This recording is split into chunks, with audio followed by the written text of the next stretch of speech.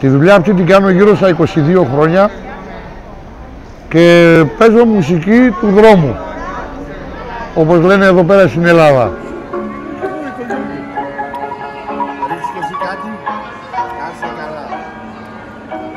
Παλιά μουσική παίζω, είναι δεκαετία του 55 με 50 μέχρι 70. Ήταν οι λατέρνες που ο κόσμος διασκέδαζε. Τώρα τελευταία ο κόσμος, εντάξει, οι περισσότεροι το ξέρουν, οι παλιοί, ξέρουν τι σημαίνει λατέρνα. Η νεολαία δεν το ξέρουν και έρχονται και με ρωτάνε. Μου λένε τι όργανο είναι αυτό και εγώ τους ε, λέω, τους εξηγώ ότι είναι ένα όργανο παλιό, η κατασκευή της είναι το 1942, η λατέρνα.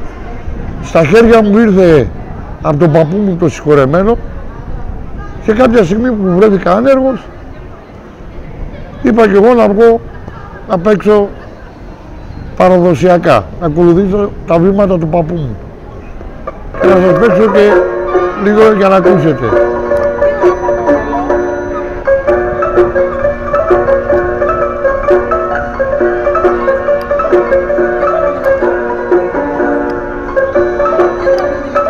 Αγάπη που έγινε δικό μαχαίρι αφιερωμένο για τους μετανάστες όλου του κόσμου.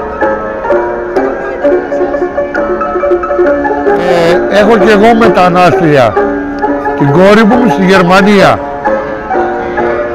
και εργάζεται εκεί πέρα, στη Γερμανία. Άμα με δει η κόρη μου πολλά φιλιά και φυσικά σε όλους τους μετανάστες, σε όλο τον κόσμο από το Σπύρο Ταραπόσο. Αγάπη που γίνε δίκοπο μαχαίρι.